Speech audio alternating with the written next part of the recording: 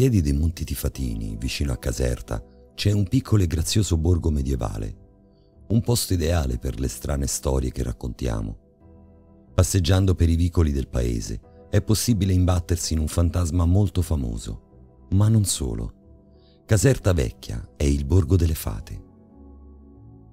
Caserta Vecchia è un piccolo gioiello medievale arroccato su una collina a meno di 4 km dalla rigia di Caserta.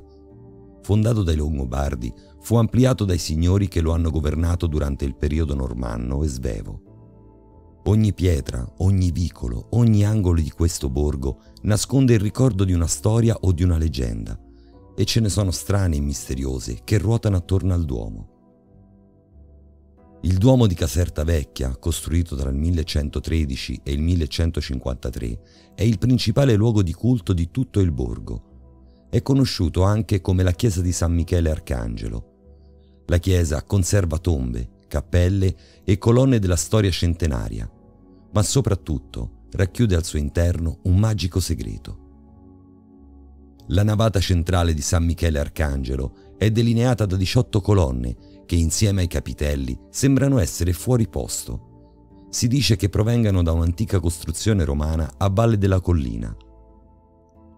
Al tempo delle incursioni saracene, i paesi vicino al mare si svuotarono e gli abitanti cercarono rifugio nelle alture vicine. Con il tempo utilizzarono i materiali a valle per costruire Caserta Vecchia, comprese le 12 colonne monumentali.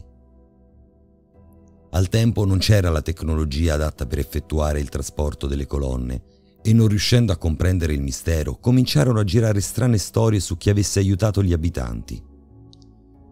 Sui monti Tifatini vivevano delle fate che vedendo i costruttori in difficoltà corsero in loro aiuto. Ogni fata trasportava uno dei pesanti blocchi monolitici di marmo in bilico sulla testa fino al monte per rendere il Duomo unico e speciale. Caserta Vecchia ha con fate e spiriti un rapporto speciale. Quella delle colonne di San Michele Arcangelo non è l'unica strana storia del luogo. Ce n'è un'altra più triste e malinconica legata al castello, di cui attualmente rimangono solo le mura e l'imponente torre normanna, che si dice essere infestato da secoli da un fantasma. Secondo la leggenda, lo spettro sarebbe l'anima inquieta di Siffridina Gentile, moglie di Tommaso di Lauro, conte di Caserta, e consuocera di Federico II di Svevia, che in vita era molto legata a Caserta Vecchia. All'arrivo dei Dangiò nel regno di Napoli, Siffridina, poiché non nutriva simpatie per il nuovo re, spinse il nipote a ribellarsi ai francesi e a unirsi a Corradino di Svevia, ma il re Carlo la fece catturare e la condannò al carcere a vita.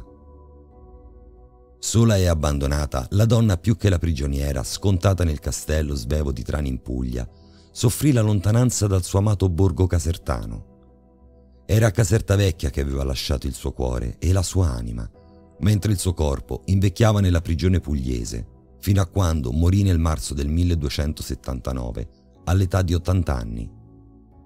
Solo dopo la sua morte, lo spirito, liberato dal peso del corpo, fu libero di tornare a Caserta Vecchia, trovando dimora nella torre normanna del castello. Quando è buio e regna il silenzio e la quiete, si possono percepire il passaggio di Siffridina e udire i suoi lamenti di sofferenza per essere stata allontanata per tanto tempo da Caserta Vecchia.